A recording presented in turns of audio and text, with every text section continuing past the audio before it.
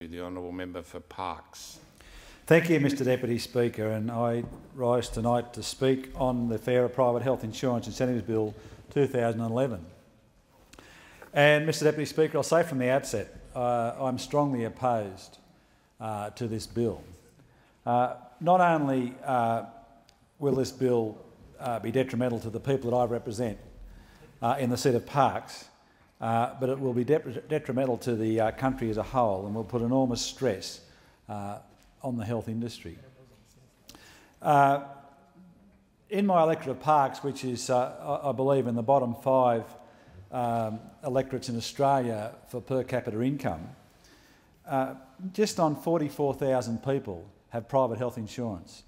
So the myth that private health insurance is the domain of the, of, of the rich uh, is a falsehood.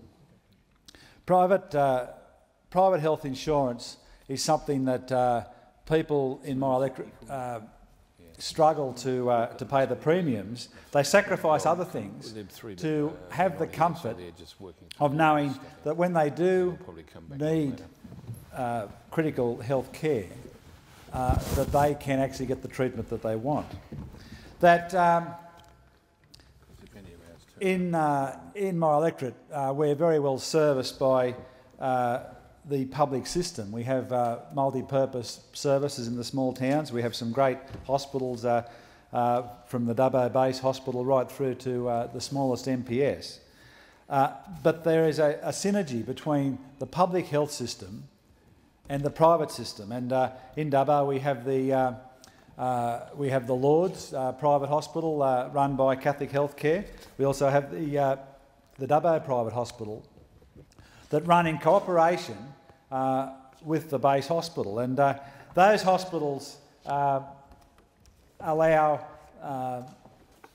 the specialists, the visiting surgeons and, and specialists to operate in a regional area. So they not only service the the people that live in those towns, but they service people from a long, long way. And uh, it's my concern that with the, uh, with the shrinking of the, uh, of the private health system uh, that this bill will undertake, uh, we'll start to see uh, those doctors ceasing to service the re regional areas. And many of these hospitals are running on a fine margin, and we've heard other speeches here say that the percentage of, uh, of operations that are done by private hospitals per uh, uh, dollar uh, government uh, dollars spent on them compared to the private system, uh, they, they are carrying, um, punching well above their weight. And indeed, the, the private hospital in the Tamworth, in the seat of New England, which services a, a lot of my constituents, it's a, it's a, a regional centre, and, and indeed, I've have uh, been a patient in that hospital myself, it's my understanding that uh, the private hospital Tamara uh, will really struggle uh, to keep its doors open if this legislation comes through. So, uh, Mr Deputy Speaker, uh, this bill is, is ill-considered for, for, for, quite, a few, quite a few reasons, and it, it's if it's designed to improve the government's bottom line, uh, it's incredibly short-sighted. Because this has the potential to really uh, balloon the, the, the cost, the expenses in healthcare because what's going to happen is that the public system uh, is going to have a huge influx of uh, of people that are, are, leaving the private system because they can simply no longer afford it. And while people realise that private health uh, is important and while they sacrifice to keep it, unfortunately, when they get into a, a, a, a bind financially, uh, it's one thing that they, they, they will drop off. It's a, it's a bit like house insurance. Unfortunately, when people get into a financial bind, they won't insure their house, and sure as eggs, they're the people that are going to get a fire or a flood. And this is exactly the same. These people will uh, uh, reluctantly uh, leave private health insurance uh, and be reliant on the public system. And we're going to see that balloon out. I have some experience in this. Um, uh, uh, one of my daughters is a doctor and has spent quite a bit of time working in a regional base hospital. And already the, the job that those hospitals do through emergency, uh, through outpatients, uh, that already should be taken up by, by, other, by, by other providers uh, is enormous. If, if this influx uh, of people hit this system from the private system, uh, they are just not going to cope. The waiting list now uh, for surgery in many of these uh, uh, regional based hospitals is quite long. And, and so much of, the, much of the elective surgery is done through the private system. If that, um, if that ceases to be an option, uh, the healthcare for the people that I represent will uh, really, really suffer. And, uh, Mr Deputy Speaker, uh, underpinning all of this uh, is a breach of faith. Um, the government, the ministers, the former Prime Minister Kevin Rudd and the former Health Minister Nicola Roxon had said on numerous occasions that this rebate was not to be touched. So, so apart from the practical reasons uh, why this is a dumb idea, uh, this is a, a, dishonest.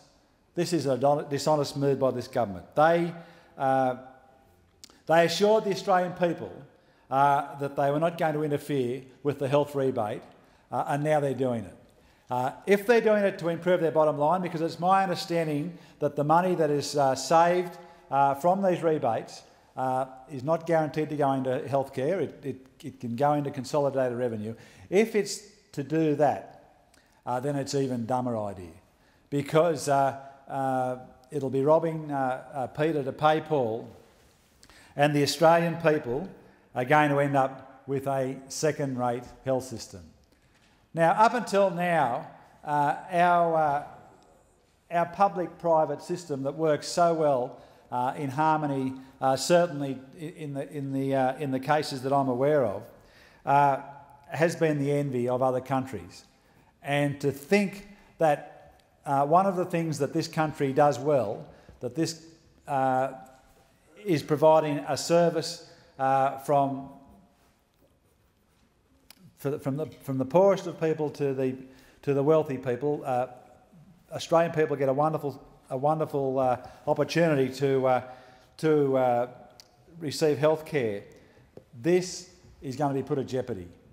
And if this government thinks by pushing everyone to the lowest common denominator, by pushing everyone onto a public system that is already bursting at the seams, if they think this is good health policy, or fiscal policy, they are delusional. Now, uh, we've seen uh, since 2007, this government has been talking about reform of health. Uh, but what we've seen is, is window dressing and tinkering around the sides. And one of the great frustrations with health uh, as an MP that I've been dealing with is, has been um, these uh, Medicare locals.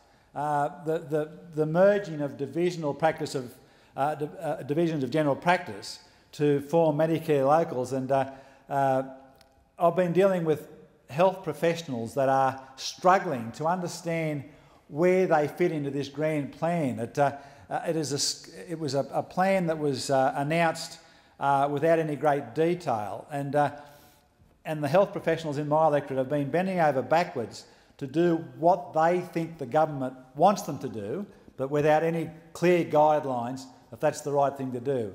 And so, this change, on top of the unsettled conditions that's already been created uh, by this government, I believe will be the straw that breaks the camel's back. Mr Deputy Speaker, uh, there is a list of statistics here that I could mention uh, to back up the case as to why this is a very dumb idea, but we've heard that before from, uh, from uh, the eloquent speeches that we've heard in this place. So I will conclude by saying I hope that when this goes to a vote, that the members of this House that represent average Australians that relying on being able to access health care in a timely and costly, cost-effective manner consider their constituents when they go to vote on this and, uh, and, and, and give this bill uh, the scorn that it deserves.